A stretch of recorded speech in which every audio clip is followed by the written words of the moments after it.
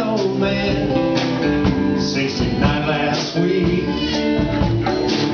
He's happy